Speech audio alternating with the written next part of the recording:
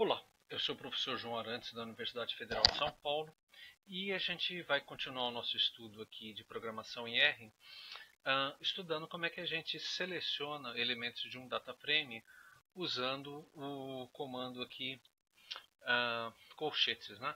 Então eu vou carregar aqui, deixa eu só limpar essas variáveis aqui, a memória, desculpa, deixa eu limpar aqui. Bom, então eu vou carregar um arquivo, o um arquivo CSV chamado alunos, né? Então, abrindo esse arquivo, olha só coisa chata, né? Esse arquivo aqui ele foi gerado com ponto e vírgula, né? Foi gerado aqui provavelmente na planilha Excel do Brasil. E aí você não consegue abrir o arquivo CSV, né? Abre, mas abre errado, né? Bom, tem várias formas de contornar esse problema mais fácil. É usar mesmo o read CSV e botar o separador aqui, ponto e vírgula. Então, se você fizer assim, ah, agora sim. Agora está aparecendo aqui as colunas, tudo certinho, né? Ou você poderia usar esse read CSV2, né?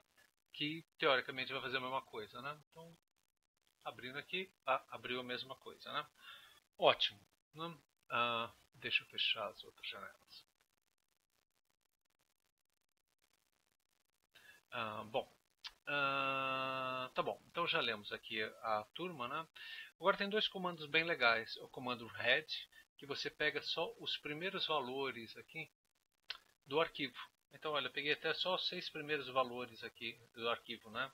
Então, digamos que esse arquivo tivesse mil linhas, pegaria só as seis primeiras linhas, né? E se você quiser pegar os últimos valores, você usa o comando tail, né? Cauda, né? Cauda da turma, né?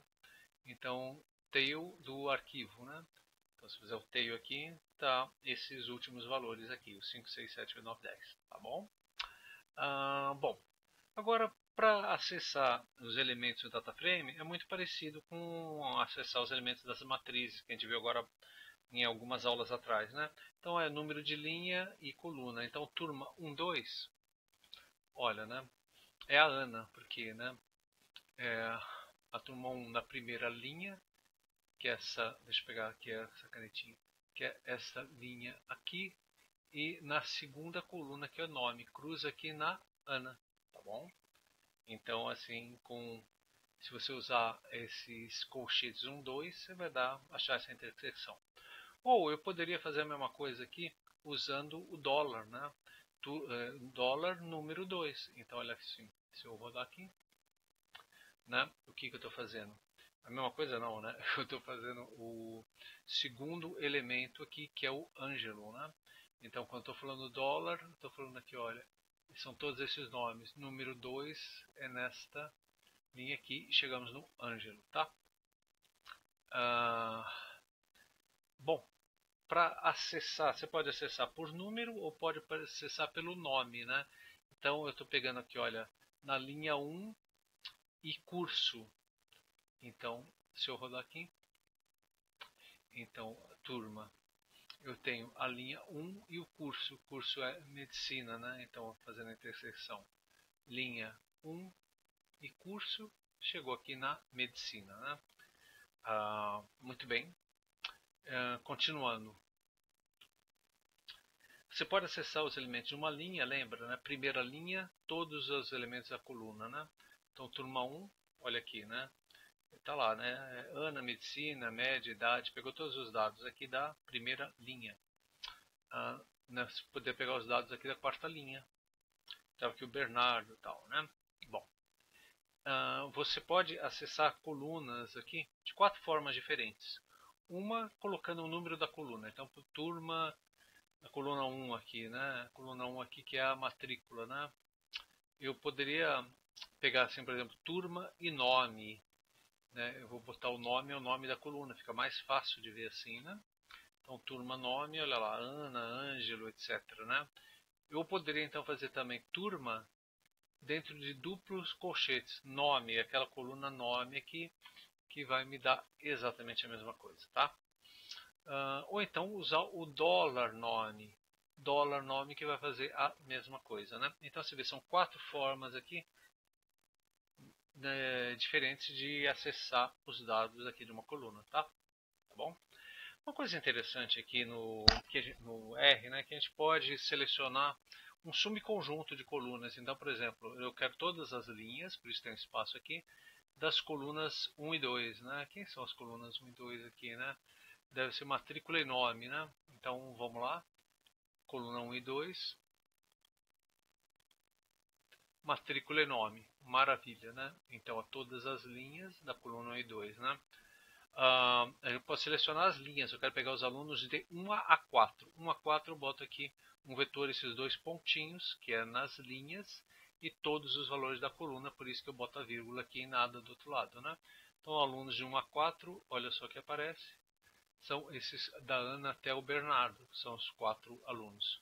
Agora, eu poderia falar assim, olha, alunos 1 e 4, né? Aí quando eu boto vírgula, eu estou pegando cada uma das colunas. Então, alunos 1 e 4, né? É, o aluno 1 é a Ana e o aluno 4 é o Bernardo. Né? Bom, a, você pode criar um, um subgrupo de um data frame colocando aqui, olha, quais são as linhas que eu quero pegar, eu quero pegar as linhas 2, 4, 6, quais são as colunas que eu quero pegar, a coluna 2 e 3, né? Então as linhas aqui, 2, 4, 6, deve ser o, vamos pegar aqui, né? Linhas 2, 4, 6, né? Então deve ser o Ângelo, deve ser o Bernardo, deve ser o Carlos, ah, mais ou menos, né? E a coluna, qual era a coluna mesmo? Vai pegar 2 e 3, né? Então a turma aqui e a coluna 2 e 3. 1, 2 e 3 dá o nome e o curso, né? Bom, então vamos ver aqui o que, que o comando pega. Né? Então criei um grupo aqui separando algumas pessoas em algumas colunas é aqui o grupo, ó lá. Então, ah, opa, aqui, desculpa, cliquei errado. Grupo, né? Tem essas pessoas, 2, 4 e 6, né? E o nome e o curso aqui, que são as colunas, tá bom? Ah, agora uma coisa bastante legal aqui do R, né? Por exemplo, se você quer, eu sei que na turma tem uma Ana, mas eu queria mudar o nome da Ana aqui. Digamos que eu quero colocar o nome completo dela. Então eu vejo aqui na turma, aí você abre os colchetes aqui, turma, cujo valor será igual a Ana, eu vou substituir por Ana Paula Souza. Né? Então, rodando aqui no run, se você olhar a turma aqui, já foi feita a substituição aqui em cima. Tá? Bom, você pode usar também, criar um subconjunto com a função subset. Então, por exemplo, eu quero fazer um subset aqui né, de desse daqui do desse conjunto aqui para os gêneros igual ao a feminino, né? Então são as mulheres, né? Então a gente vai ver aqui, ó, da turma. Né? Eu vou pegar só as mulheres, né? Ana Paula Souza, né? Beatriz e por aí fora, né? Então criando um subset eu estou chamando conjunto mulheres, né? E tem aqui Ana, Paula Souza, Beatriz, Celina, Dolores e Érica, tá? Bom pessoal, então é, eu quis mostrar aqui como é que a gente seleciona os elementos, linhas, colunas, etc., com essa função aqui que é do R, aqui, que são os brackets, né, são os uh, colchetes, tá bom? É isso aí.